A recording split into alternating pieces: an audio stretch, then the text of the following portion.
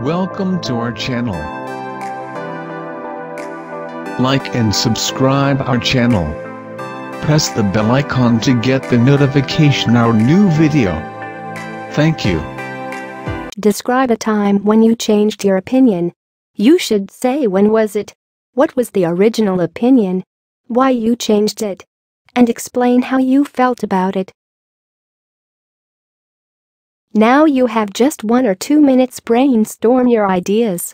Be careful you have to speak about two minutes and answer all the question which given in the cue card.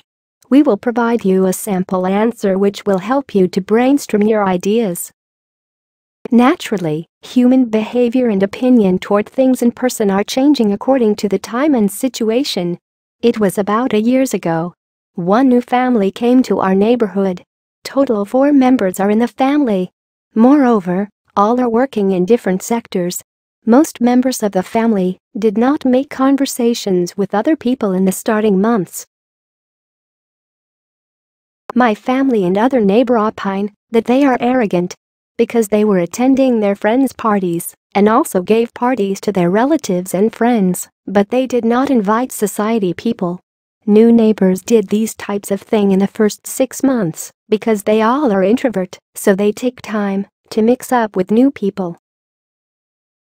We all experienced new and friendly behavior within the year. They are very helping nature family. Honestly, now I feel terrible when I think about my previous opinion about that family. I also feel happy because I have the right family in my neighborhood. Thank you. Please subscribe to our channel to get daily latest updates and material.